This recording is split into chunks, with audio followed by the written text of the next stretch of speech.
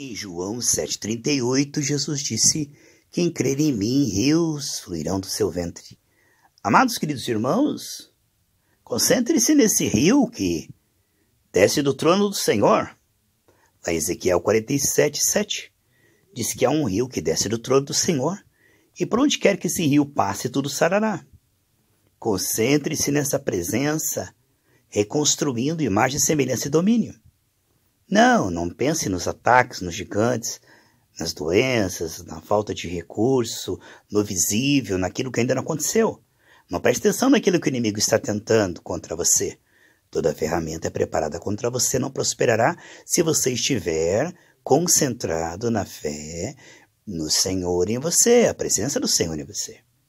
Não há nada mais poderoso do que a palavra dita no espírito de fé. É, Paulo disse: Nós somos a palavra da fé que nós pregamos, né, amados? Temos esse mesmo espírito, por isso falamos.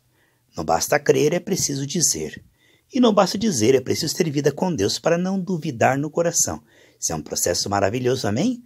Você tem essa fé, Romanos 12, 3, diz que a todos foi dado essa medida de fé.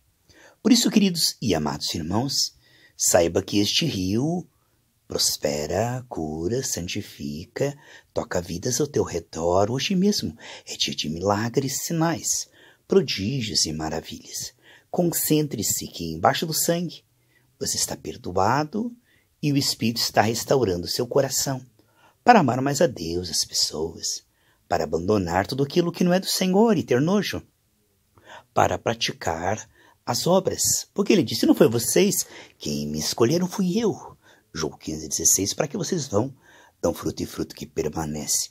Portanto, estamos predestinados às boas obras. Pensa nisto. Se concentre que em Cristo, o dom da justiça, perdoado, aceito, salvo, herdeiro, filho, amado. E no Espírito, ungido, capaz. Olha, agora mesmo, enquanto estou falando, o Espírito está fluindo e confirmando com milagres. É, o Senhor disse: Nunca te deixarei, jamais te desampararei. Hebreus 13,5. O Senhor disse em João 14,17: O Espírito, que do momento está com vocês, porque estava todo em Cristo, mas estará em vocês. E essa presença está trabalhando por causa do sangue, porque Cristo pagou. Ele disse: O Espírito tomará do que é meu e dará a vós. O que nós vemos é que na cruz Jesus conquistou para nós uma vida transbordante, onde todas as áreas foram tocadas, supridas e restauradas. Eu quero que você saiba que nada que vem contra você é poderoso. O câncer não é poderoso. A crise, lockdown, não é poderoso. Poderoso é o Espírito se movendo, confirmando através da palavra dos seus lábios. A palavra que você tem se alimentado todos os dias porque a boca só pode falar do que está cheio o coração. Mateus 12, 34. Se você enche o seu coração de televisão, de coisas, músicas do mundo, você não vai ter fé, porque a fé vem pelo ouvir e ouvir pela palavra de Deus. Romanos 14, 17.